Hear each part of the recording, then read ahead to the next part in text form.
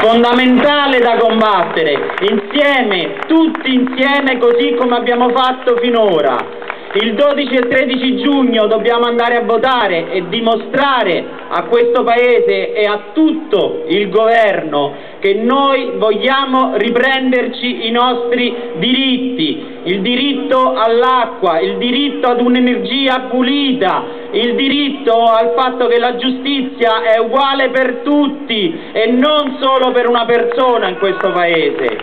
Vogliamo fermare la privatizzazione dell'acqua, portare i profitti fuori dall'acqua e l'acqua fuori dal mercato, perché è assolutamente impossibile far sì che l'acqua sia gestita con logiche di mercato. Guardate, c'è stato qualcosa di straordinario in questa campagna referendaria, un qualcosa che non era mai successo in Italia prima. È la prima volta che dei referendum sono promossi esclusivamente dalla società civile, dalla,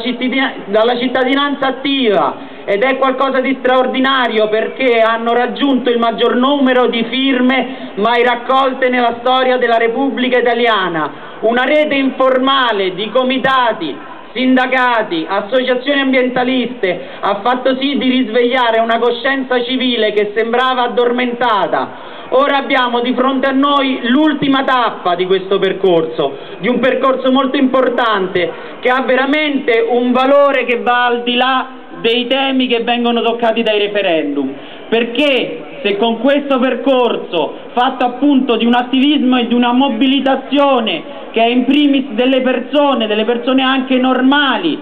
dei pensionati, dei lavoratori, degli studenti, noi riusciremo a vincere questa battaglia. Si apriranno degli spazi politici per tutti, dobbiamo capire che questo veramente è un appuntamento fondamentale, come è stato il referendum del divorzio degli anni 70, come è stato quello dell'87 sul nucleare, anche questo sarà un appuntamento in cui potremmo veramente dare una svolta a questo Paese, potremmo riappropriarci dei nostri diritti, del diritto all'acqua e quindi dei diritti anche dei lavoratori. E perché noi diciamo sempre che si scrive acqua e si legge democrazia perché qui c'è un attacco fondamentale ai diritti, ai diritti anche costituzionalmente garantiti. Stanno tentando in tutti i modi di far sì che questi referendum non vengano svolti, con dei trucchi, ci diranno che i referendum ormai sono inutili, stanno facendo, approvando delle leggi truffa sui referendum, lo hanno fatto con